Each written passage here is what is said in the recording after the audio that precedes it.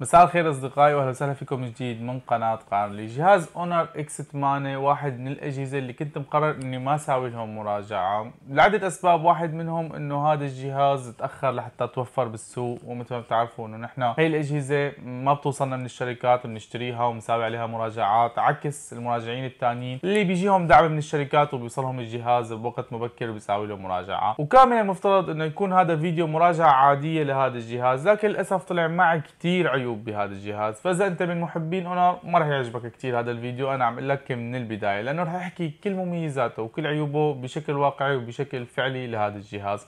وبلا ما نطول كثير بالمقدمة خلينا نفوت على المواصفات بشكل مباشر. وخلينا نبلش مباشرة مع شاشة هذا الجهاز. هذا الجهاز أحلى شيء فيه بالشاشة أو أكثر ميزة عجبتني بهي الشاشة إنه نسبة استحواذها جدا عالية. يعني وصلت 89.1 وهي نسبة الاستحواذ قليل ما نشوفها بهي الفئة السعرية. أغلب الأجهزة اللي كانت تجي بهي الاستحواذ أو نسبة الاستحواذ كانت بتكون flagship فشي جدا رائع وكثير حلو. وشي بتلاحظه فورا بهذا الجهاز أول ما تمسكه إنه الحواف جدا صغيرة والشاشة اخذه كثير نسبة عالية من الواجهة الواجهه الإمامية لهذا الجهاز. أيضا هي الشاشة بتجي بحجم 6.7 مع 90 هرتز والهرتزية هون حلاوتها إنه dynamic يعني أنت بتحطها dynamic فهي بتحول بين 60 و 90 حسب الاستخدام تبع الجهاز حتى توفر طاقة. وهي الشغلة كثير مفيدة بالجهاز رح لكم ليش لقدام شوي. أيضا الشاشة بتجي بدقة Full HD Plus للأسف طبعا جاي من نوع IPS كنا بنتمناها إنه تكون من نوع AMOLED حتى تكون شوي ألوانها أحلى تكون مشبعة أكثر لكن لا بأس فيها ال IPS يعني جيدة كانت. كانت وأيضا ال nits كان تحت الشمس جيد. طبعا آخر شغلة كنا بنتمناها أيضا تكون موجودة بهي الشاشة اللي هي طبقة الحماية لكن هذا الشيء تعودنا عليه. من هواوي ومن أونر هن ما بيحطوا طبقات حماية على أجهزتهم بهي الفئات السعرية. طبعا الأجهزة الثانية بنفس الفئة السعرية مثل شاومي أو مثل ريلمي أو حتى سامسونج. بهي الفئة السعرية بتلاقي في طبقة حماية على الشاشة تحميها من الخدوش ومن الكسر. فهون بهذا الجهاز لازم تحط ببالك إذا ناوي تشتري هذا الجهاز إنه ما عليه أي طبقة حماية أول ما تشتريه فورا ركب عليه screen protector حتى تحميها للشاشة من الخدوش أو من الكسر. فهي كان بالنسبة للشاشة. خلينا ننتقل للتصميم. يمكن التصميم أغلبكم شايفه وما راح احكي عنه كثير شكل الجهاز شكل آيفون وأغلب المراجعين حكوا عنه إنه آيفون بعدسة رابعة أو بكاميرا رابعة أو بكاميرا بدل مستشعر ال LiDAR الموجود بالآيفون. فهو حرفيا الجهاز جدا مقتبس من الآيفون. يعني حواف حادة نفس حواف الآيفون. شكل الكاميرات ومربع الكاميرات كثير بيعطي شبه للآيفون. الجهاز مصنوع من البلاستيك الغطاء الخلفي أيضا مصنوع من البلاستيك. وللأسف الغطاء الخلفي جدا سريع تطبيع الأصابع عليه فأول ما بتمسك الجهاز فورا بتحس بتطبيع أصابع وكل شوي لازم تمسح الجهاز. الأفضل أو يفضل إنك تركب cover للجهاز حتى ما تضلك تعاني من موضوع تطبيع أصابع على ال cover. وأيضا تحميه من الكسر كون الغطاء الخلفي جاي من البلاستيك. طبعا الشيء الحلو بهذا الجهاز إنه سماكته فقط 7.5 ملي ووزنه فقط 177 غرام. فهو جدا خفيف وكثير مناسب للبنات للصبايا أو للناس اللي بتحب الجهاز اللي وزنه خفيف. وإذا نظرنا على الجهاز من الاسفل راح نلاحظ وجود مدخل سماعه 3.5 مايك ومدخل الشحن وأيضا speaker خارجي. وإذا نظرنا على الجهاز من الاعلى للأسف ما راح تلاحظ وجود غير مايك لعزل الضوضاء فقط لا غير يعني ما في stereo speaker بالجهاز ما في مستشعر IR ما في أي شيء من الأعلى فقط مايك لعزل الضوضاء. أيضا من الجانب راح تلاحظ وجود زرين رفع وخفض الصوت والبصمة اللي صرنا عم نشوفها كثير بالأجهزة بهي الفئة السعرية. بصمة جانبية البصمة ادائها سريع البصمة تفتح بسرعة جدا عالية ما فيها أي تأخير ما فيها أي تباطؤ. وكان أدائها كثير حلو وصراحة كثير عجبني أداء البصمة بهذا الجهاز. يعني فينا نقول إنه أداء البصمة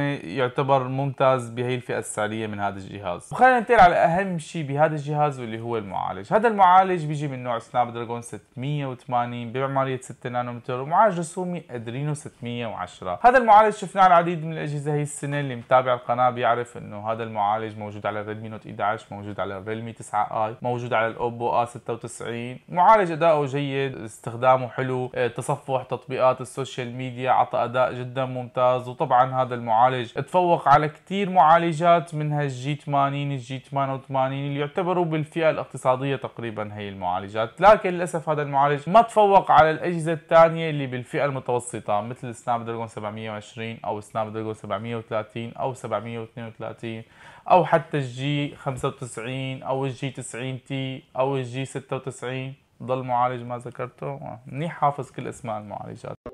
فهذا المعالج للأسف ما تفوق على هي المعالجات وخصوصا بموضوع الألعاب. يعني مثلا مثل هذا الجهاز ما شغل أكثر من 30 frame على لعبة ببجي وأداء يعتبر ضعيف ومتواضع على لعبة ببجي. يعني أجهزة أقدم منه وأرخص منه بالسعر بتشغل فريمات أعلى من هيك يعني. فيعتبر هذا المعالج للأسف فاشل بالألعاب. لكن هو جيد من ناحية الاستخدام العادي ال social media الواتساب الفيسبوك الاستخدام العادي. وبكل تأكيد مثل كل جهاز أنا بختبر المعالج على ال AnTuTu فعملت له اختبار AnTuTu هذا الجهاز حقق معي ما يقارب 237 ألف نقطة. وهذا رقم جيد يعني رقم يعتبر حلو بهي الفئة السعرية لا بأس فيه يعني. فهي كان بالنسبة للمعالج. خلينا ننتقل لموضوع الكاميرات. هذا الجهاز بيجي بأربع كاميرات مثل ما شفتوا الأساسية بتجي 64 ميجا الثانوية بتجي 8 ميجا ultra wide الثالثة بتجي 2 ميجا macro والأخيرة بتجي 2 ميجا للعزل. والجهاز بيصور 1080 على 30 frame بالثانية. طبعا مثل العادة أنا تجربة الفيديو ما عاد نشرتها بالقناة صرت انشرها بصفحتي على الفيسبوك قارن فإذا حابب تشوف تجربة الفيديو وتصوير الفيديو بهذا الجهاز ادخل على صفحة الفيسبوك وتابع الفيديو. وإذا حبيت تشترك نحن بننزل يوميا أخبار عن الأجهزة والتسريبات وهالقصص هاي. وخلينا ننتقل لتجربة الصور. أنا أخذت عدة صور كثيره بهذا الجهاز صراحة بعدة مواضع كانت الصورة جدا رائعة وكثير حلوة. وفيني لكم من أحسن الأجهزة بهي الفئة السعرية أو بهذا المعالج أو بهي الأداء من ناحية الكاميرات. يعني كثير أخذت صور فيه كانت المعالجة جيده ألوان السماء ال dynamic range. كثير متحسنة رجعني لأيام أونر وهواوي لما كنا نصور الأجهزة. بيعمل شوية تعديل على الصورة لكن التعديل بيكون حلو. في ناس بتحب هذا التعديل في ناس ما بتحب هذا التعديل. لكن متحسن شوي يعني مو مثل أيام هواوي وأونر لما كنت تحس في تعديل كثير قوي. لا هون شوي قريبة من الواقع الصورة يعني محسنين موضوع الخوارزمية تبعهم. والصور كانت جيدة وعجبتني صراحة. بهيك فئة سعرية يعني تعتبر ممتازة هيك صور. أما بالنسبة للكاميرا الأمامية فهذا الجهاز بيجي بكاميرا أمامية بدقة 16 ميجا. مع فتحة عدسه 2.5 صراحة صور السيلفي كانت حلوة العزل كان حلو. طبعا في شوية أخطاء إجباري هذا الشيء بهي الفئات السعرية بيكون في شوية خطأ من ناحية العزل. لكن كانت الصورة طبيعية وحلوة ورايقه يعني. طبعا لا تخلو من موضوع التعديل من ناحية أونر اللي بيعملوا شوية لمسة يعني على الصورة. لكن أفضل بكثير من الصور القديمة اللي كنا نشوفهم التعديل الجدا قوي على الصورة اللي بيغير ملامح الوجه لا هون بيعمل تعديل بسيط وحلو. باقي الصور أيضا بالكاميرا الاماميه كانوا حلوين بهذا الجهاز. وطبعا إذا بنحكي عن نظام التشغيل فهذا الجهاز بيجي بأندرويد 11 مع واجهة ال1 UI 4.2 تقريبا كل شيء موجود بهي الواجهة. الأداء السلس الحلو فيها لهي الواجهة. ما بدنا ننسى إنه أجهزة اونر انشال عنها الحظر فصارت تدعم خدمات جوجل بلاي بشكل كامل فما عندك أي مشكلة من ناحية الخدمات. جوجل بلاي يوتيوب كله موجود ومثبت. مسبقا وأساسي بالجهاز يعني بدون أي حظر والجهاز بياخذ تحديثات بشكل طبيعي. الواجهة حلوة وأدائها سلس وما واجهت مع اي مشكلة. وصراحه هي الواجهة تعتبر من أفضل الواجهات وأكثرهم استقرارا موجود بالسوق حاليا في ظل الواجهات السيئة اللي عم نشوفها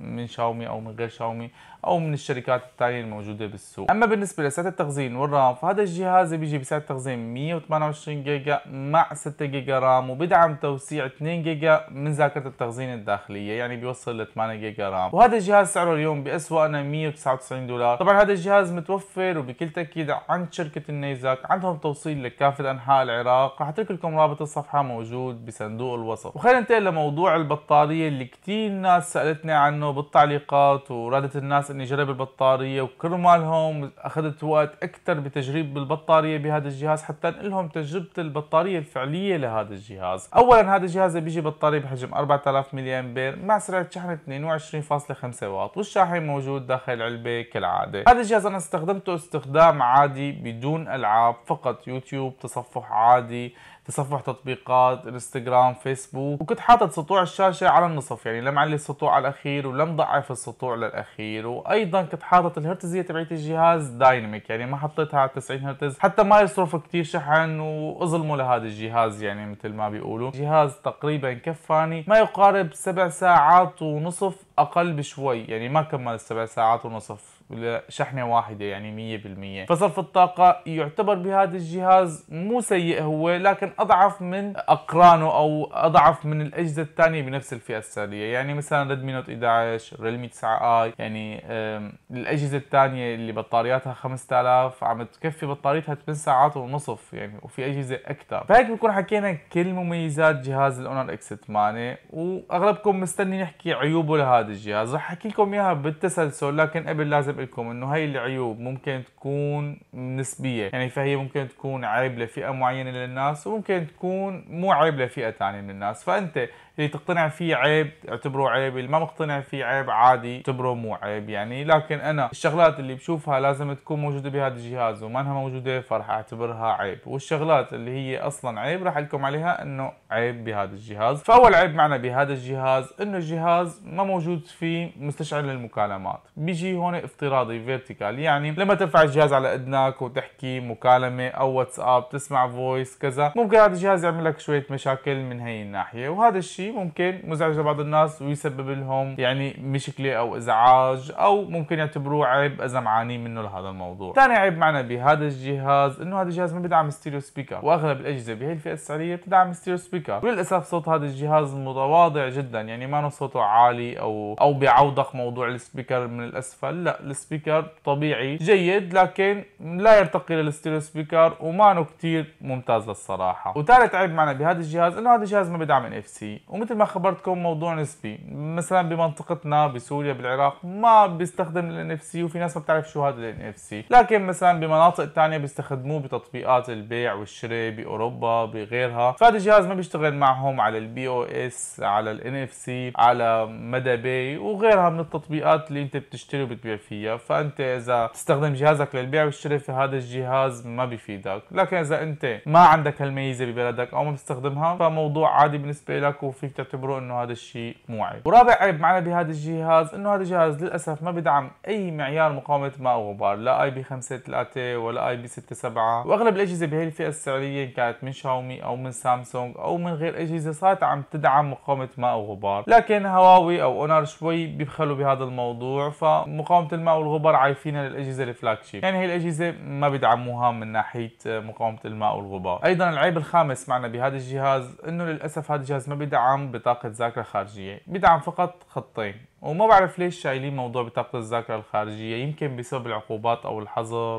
ما عندي فكرة صراحة يعني. لكن هذا الجهاز ما بدعم أي بطاقة ذاكرة خارجية والجهاز ذاكرته فقط 128 جيجا. فإذا حبيت توسع الذاكرة عن طريق أنك تحط ذاكرة تخزين خارجية هذا الخيار ما متاح لك مع هذا الجهاز يعني. العيب السادس معنا بهذا الجهاز حكيت لكم إياه بالبداية إنه الشاشة للأسف جاية من نوع IPS وما عليها أي طبقة حماية. فدول يعتبرهم اثنيناتهم عيب واحد يعني. ما راح نقول إنه عيبين واحد IPS وواحد بدون طبقة حماية. هي الشاشة عيب واحد إنه ما عليها أي طبقة حماية وأيضا الشاشة بتجي فقط من نوع IPS فخلينا نعتبرهم إنه عيب واحد أو هذا العيب السادس بهذا الجهاز. والعيب السابع بهذا الجهاز من وجهة نظري إنه البطارية تعتبر ضعيفة. 4000 ملي امبير بهي الفئة السعرية صغيرة وللأسف البطارية تحت الاختبار ما صمدت أكثر من 7 ساعات 7 ساعات وشوي وهذا رقم قليل على هذا الجهاز. وصدقا أنا ما ضغطت على الجهاز يمكن لو ضغط عليه لحتى ما تكفي السبع ساعات البطارية. فايضا البطارية تعتبر عيب وتعتبر ضعيفة لازم البطارية تكفي فوق 8 ساعات ونص يعني. فالبطارية هي 4000 يعني قد ما كان ال software موفر طاقة أو المعالج موفر طاقة ما راح تضاين البطارية عندك مدة طويلة أو وقت كبير. فهي سبع عيوب بالنسبة لهذا الجهاز. أيضا في عيب أخير اللي هو العيب الثامن بهذا الجهاز. طبعا نسبي إذا أنت دفيع وعندك مصاري وخواجة عادي فيك تعتبره مو عيب. لكن إذا أنت حابب تقارن الجهاز كقيمة مقابل سعر مثل الناس الدرويش فهذا الجهاز يعتبر غالي 200 دولار نعم سعره مرتفع.